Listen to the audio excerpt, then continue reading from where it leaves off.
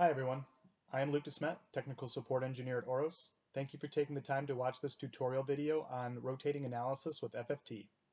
This tutorial will show how to analyze a vibration signal coming from a rotating machine while it speeds up. This signal contains two tracks, one for an accelerometer and another for a tachometer. In a healthy rotor, the majority of vibration comes from imbalance. Order 1 is the response of imbalance, so comparing the overall level, orange plot, with the order 1 level, green plot, gives a good indication of health monitoring. Thus, we expect both plots to be close. You can see on this signal that is not the case, especially below 26,000 RPMs.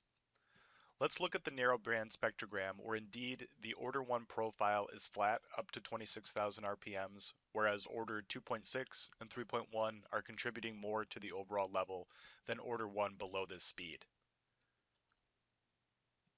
Let's add those two orders to show the main contributing orders on the same graph.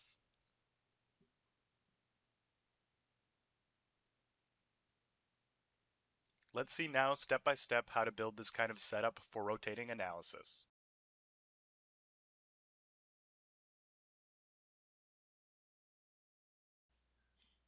Let's open the Select Inputs window and activate the first three inputs as acceleration as we will use a triaxial accelerometer we changed the input labels accordingly.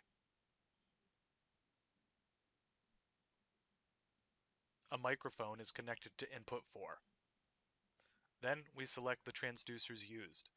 The sensors have been previously registered in our transducers database. We check the record signals box to save the raw signal to be used later in post-analysis.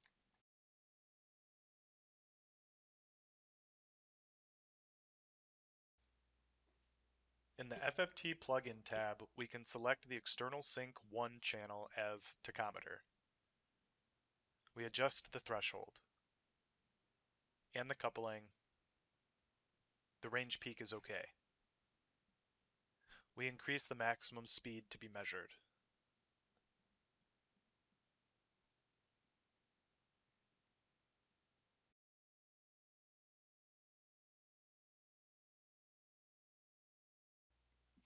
We open the results window. In the FFT tab, we select the average spectra and display them for the triaxial accelerometer and the microphone. In the 1 over n octave tab, we select the overall weighted level for the microphone. And in the tachometer tab, we choose to display the instant speed. Clicking on View Recording, the signals are displayed. In the Displays and Graph ribbon, the windows can be arranged automatically.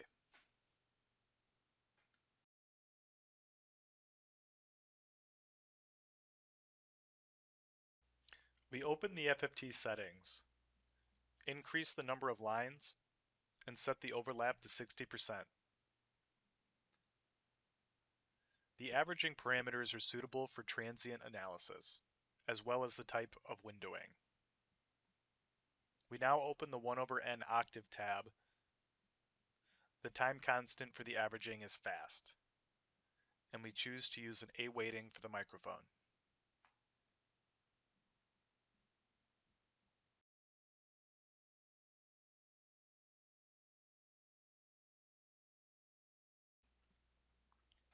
We will now post-analyze a pre-recorded signal that was recorded using the setup from our previous steps. The signal to be post-analyzed and the corresponding input windows are displayed.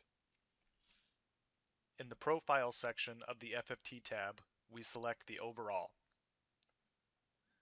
We define the external sync 2 as tachometer.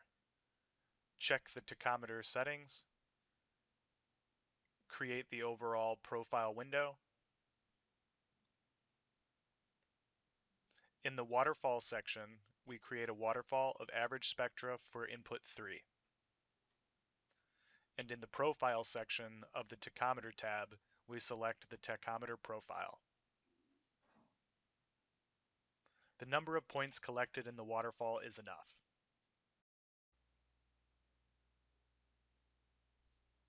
We adjust the time axis of the tachometer profile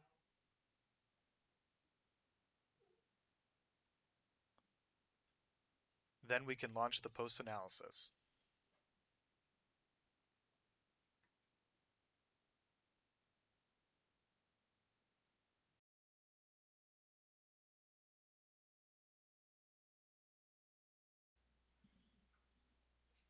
We extend the waterfall window and also display its 2D projections. We can adjust the size of the graphs,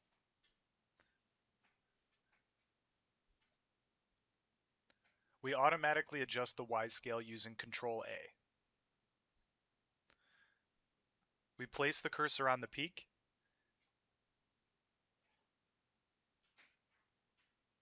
and then we display the info trace where we can read the corresponding order number.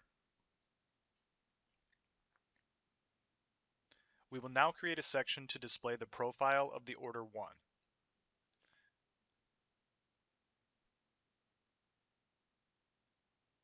And we adjust the width of the extraction. The new section is displayed in the order projection.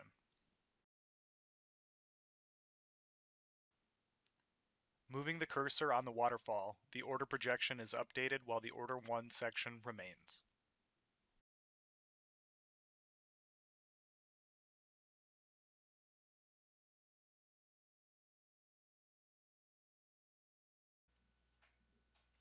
We will create a delta RPM event using the speed acquired on external sync 2. In the delta RPM tab, we check the event settings and adjust the delta velocity for which the spectra will be collected in the waterfall.